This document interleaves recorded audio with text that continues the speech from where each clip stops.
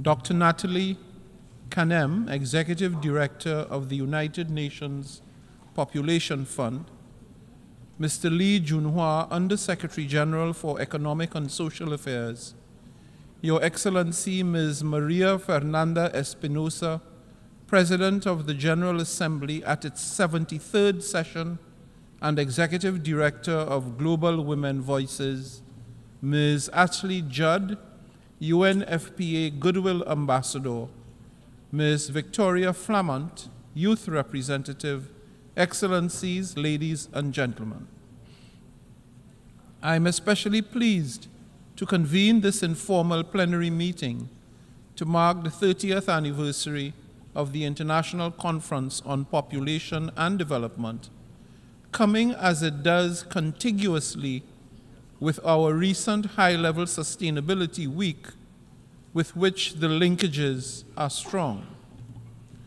At the historic conference held in 1994, governments defined a bold agenda that placed people's dignity and rights at the heart of sustainable development. The adoption of the ICPD Program of Action in Cairo marked a new era of commitment by governments and the global community at large, as well as other stakeholders including youth, civil society leaders, to integrate population concerns into all spheres of socio-economic and environmental activity.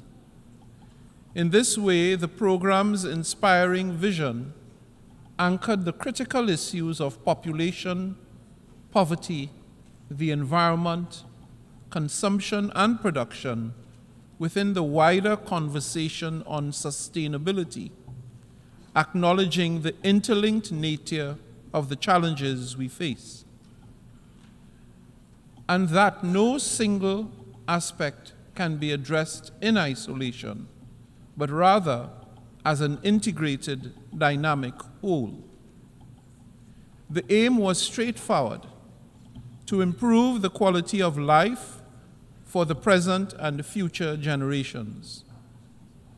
30 years on, post its adoption, we have seen significant advances and laudable progress in implementation of the program, notably in the areas of poverty reduction, life expectancy, and food security. Maternal deaths have declined while access to primary education has expanded for both girls and boys. But we must also admit that progress has been uneven, both within and among countries.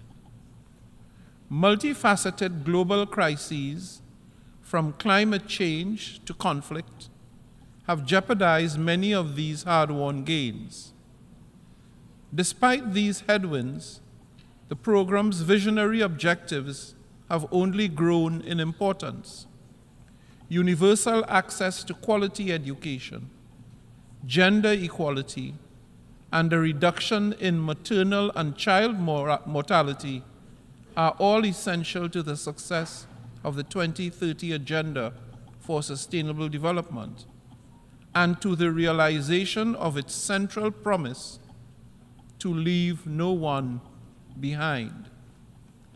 Perhaps nowhere is this more visible than in the program's unswerving focus on reducing poverty, improving access to quality education, and importantly, recognizing the empowerment of women and girls as a precondition for peace, prosperity, and the well being of all people.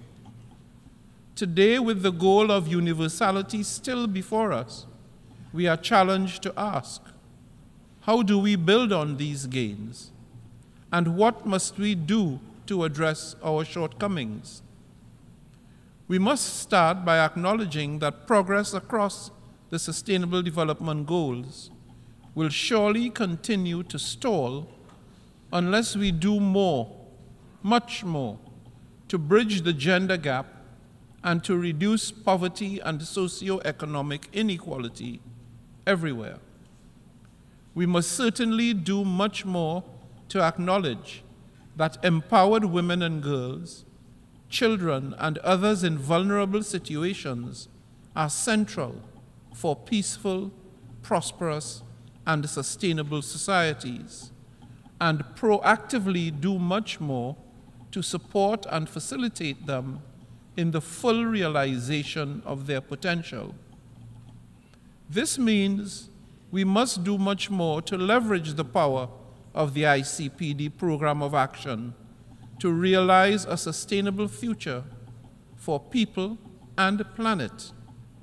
We must therefore take the next bold steps within the context of the ongoing negotiations for the Summit of the Future in September 2024 and preparations for the World Social Summit in 2025. These processes are part of a continuum of efforts to deliver faster, fairer, and smarter on the 2030 agenda and to renew the social contract underpinning a reinvigorated multilateral system. It was with this in mind that I convened the first ever UN General Assembly Sustainability Week earlier this month, exploring avenues to ignite and accelerate sustainability across the global economy. And it is also why I chose sustainability as one of the four watchwords in the mission of my presidency, acknowledging the urgency of the efforts needed to get us back on track to meet our targeted goals.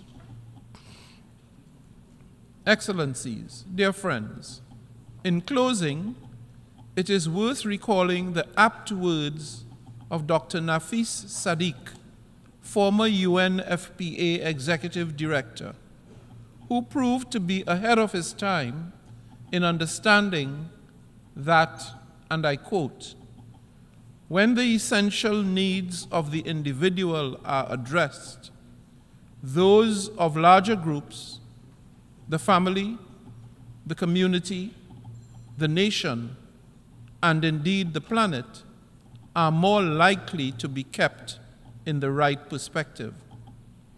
Many of the challenges that have hampered implementation of the program of action over the last 30 years continue to resonate across our societies.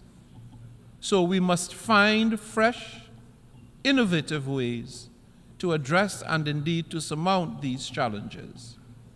Let us, as the program of action demands of us, re-establish common ground.